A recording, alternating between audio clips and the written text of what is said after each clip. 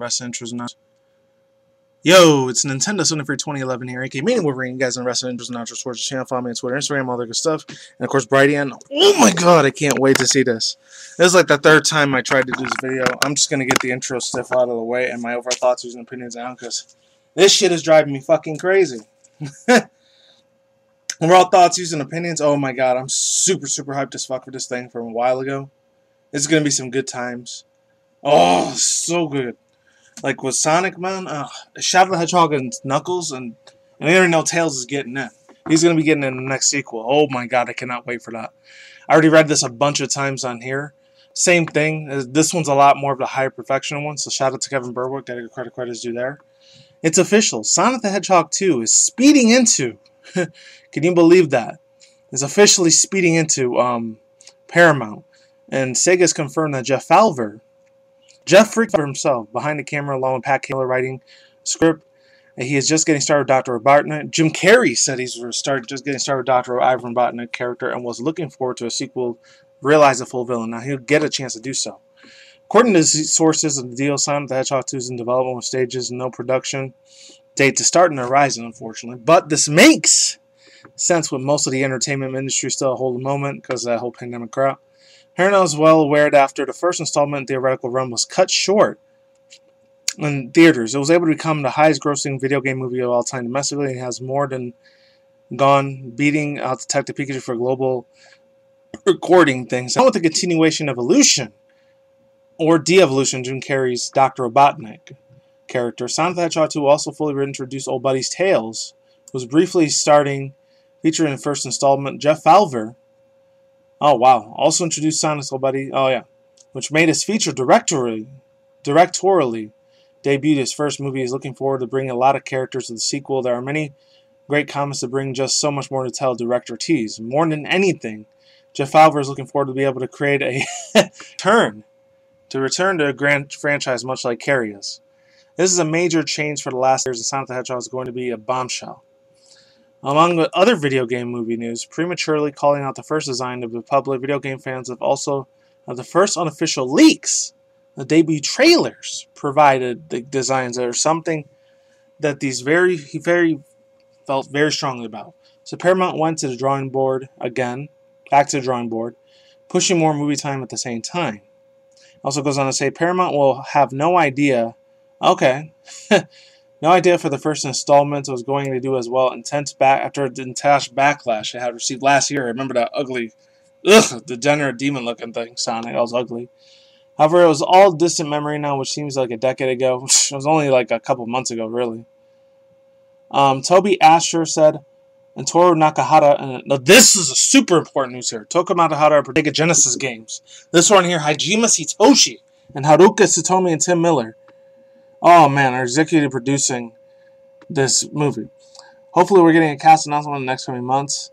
Along with production start, we will just have to be patient and see what Jeff Fowler and the Sleaze are coming out next year. Sonic Hedgehog 2. I did hear some crazy ass news that Sega Dreamcast 2, some brand new news is coming next week. And they did say Sony a PlayStation 5 might be coming June 3rd or 4th. Like the official like reveal of the whole fucking console. But if there's a Dreamcast 2 and a thing, I'm not gonna get myself for that. Oh, I can wait to see it though, if that's gonna be a thing next week. Sega and Sony Cast is coming back to like um, video games. Now, if they can be a collector's edition of a control or something, it'd be like a Nintendo Switch cross-platform thing or something. I don't know. My own personal hap shit might be fake. It might be real. And this is the other article here. You guys can read that whole thing. Oh man, I'm gonna read the ending part of it. When Sonic the Hedgehog 2 released, it's unclear. Development only just kicked off, and the casting and production are currently on the health blank alcohol drink. So whether or not the release dates are being snatched up, I wouldn't be surprised. We didn't see Sonic 2 until 2023 earliest, but that's just me spitballing. The cast of the first movie, including Ben Schwartz, Jason Masterson, and Sheriff Tom Wachowski, he did really, really funny in that movie. I'm not gonna lie. it's hilarious, man. Oh wow, that was fast. Oh, here it is. All right, Tim Stumter as Maddie Wachowski and Dr. Jim Carrey as Dr. Robotnik. One would imagine those four will be into a sequel, but it's interesting to learn what new faces will be joining the team the second go around. And also goes on again, da da da da. Alright. Blu-ray DVD already came out for some alright. 30 years since Sonic the Hedgehog was released by Sega. and Disney video game appearances and TV shows. Alright. The live action movie has been in development as far back 1993, and the iteration eventually made its way to the big screen, coming together with a half decade ago. Sonic the Hedgehog is not available on DVD, like I just said. Keep checking back. Until then, you can stay abreast with the movies expected to arrive in theaters later this year, 2020 release. Guys. Once you know I'm definitely watching that Unhinged one, You know, it's a live action one that has Russell in it. And 10. Tenet, I'm definitely seeing that shit from Christopher Nolan. That shit looks amazing. Woo! Overall thoughts and opinions on that? Oh man, I really want to see Shadow and Knuckles in live action. We know we're gonna get Knuckles because they showed the Enigma people.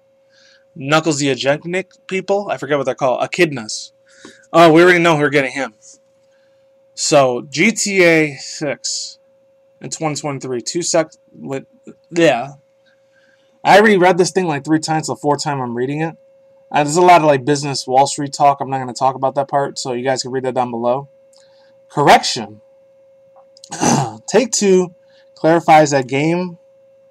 I don't know where that fucking shit showed up. That this marketing obligation metric refers to his contract with third party systems. third parties, and it does not reflect the market budget for international studios like Rockstar Games. It does mean the internet. time GTA 6. I apologize for making this. Next to Pokemon, like I said before, fourth, fifth time I'm saying it. Next to Pokemon Wars, Grand Theft Auto series has always been my favorite. I love the top-down dungeon scroller for the old school GTA 2, where you're looking at and just blasting on people all freaking day. It's crazy and getting a whole bunch of money and doing little racing stuff. That shit was cool. But let's move on to this. Take two experts. This is GTA 6 fucking rumors, not official. So hold on to your pants for this if you're a Grand Theft Auto fan. Makes millions in marketing due to the 12-month period of March 20. Oh wow, ending March 20. 31st, excuse me, I thought it was the 28th. This is a half a decade according to the Moore company's recent 10K SEC filing, which Take-Two to spend much more on marketing in 2024. Oh wow, GTA according to Jeff to analysis Jeff Cohen and Investment Stephens. Alright, that's the period. You guys can read that info if you're into like that boring ass Wall Street shit. So it says we are not sure how much more we're going to be spending and reading into the ship, but we would be more in disclosure accurately predicting the launch of Red Dead Redemption 2 prior to the game's announcement.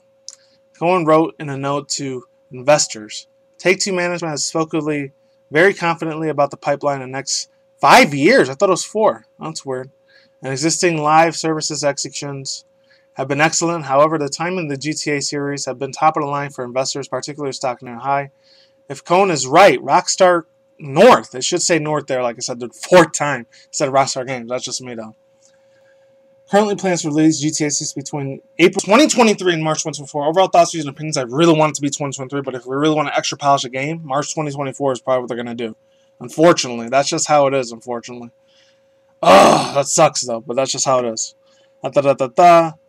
Rockstar isn't in a rush. Does the GTA 6 series make sense? GTA Grand Theft Auto 6 is a 2023, might seem far away. It's very far away, in my opinion.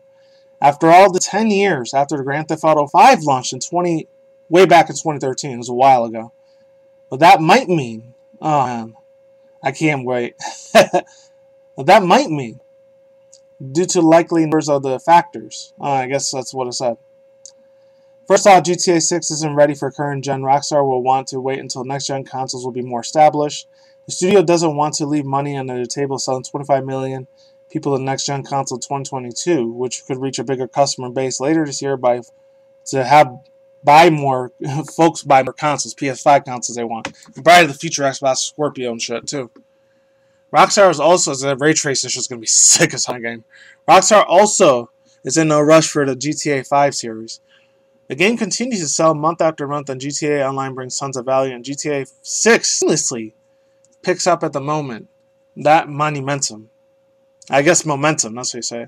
So it's important for Rockstar Games to get everything right. So it's crucial have figuring everything out. The transition GTA Online audience for any following proportionals, potentials follow up in GTA 6. Coming up on the plan and executing more time. 2023, really please, blah, blah, blah, blah. Running away, figure it out. Overall thoughts, views, and opinions. I know this shit's gonna be good. Rockstar North has always been a near and dear franchise in my heart. I absolutely love the fucking character shit. The parody they do from Not to Real, hilarious. I really want to see a Vice City remake, but it's probably not. That's all I got to say for now. I'm out of here. Links to search about down below. I'm done. Peace out once again, ladies and gentlemen, bros, women, fanboys, and fangirls, as always. Well, Otakas, Nikki, Kumois out there. We'll see. They have a good night wherever you're at the universe out there. See more future content channel, video game industry news, and news, internet news, and reaction videos. That's it. Talk crowd. Lansing Biocides, a ha- crap of hand sanitizers. I'm done.